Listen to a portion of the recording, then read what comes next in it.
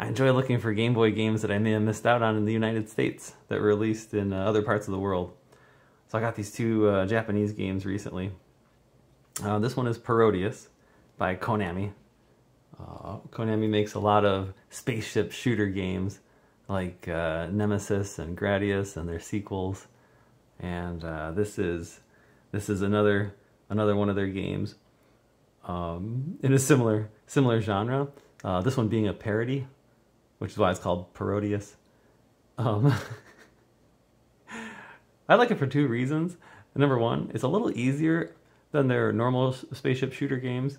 I mean, I love these types of games, but I'm terrible at them. And it being a little easier is nice. I can easily, uh, you know, have fun playing it and get many, many stages into the game. Uh, the second reason I like it is because it's pretty hilarious. Uh, the music is lighthearted and goofy. The bosses are, I don't even know, penguins with giant belly buttons. Uh, one of the final bosses is a giant lady dancer. It's hard to explain. It's quite an experience. If you like these kind of games, I recommend it. I think this was released in Japan, of course, and uh, also Europe.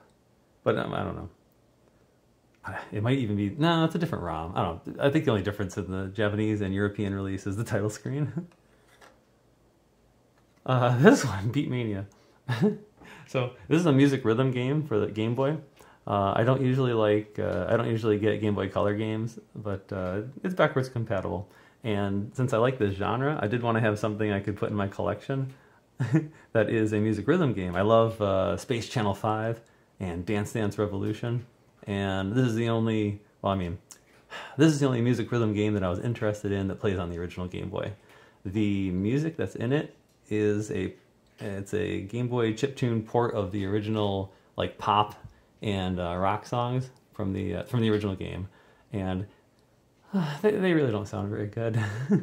Especially compared to the Wonder Swan version oh my gosh, if you look up a video of uh, people playing the Wonder Swan version, you know, another portable console only released in Japan, um, the music in that game sounds incredible.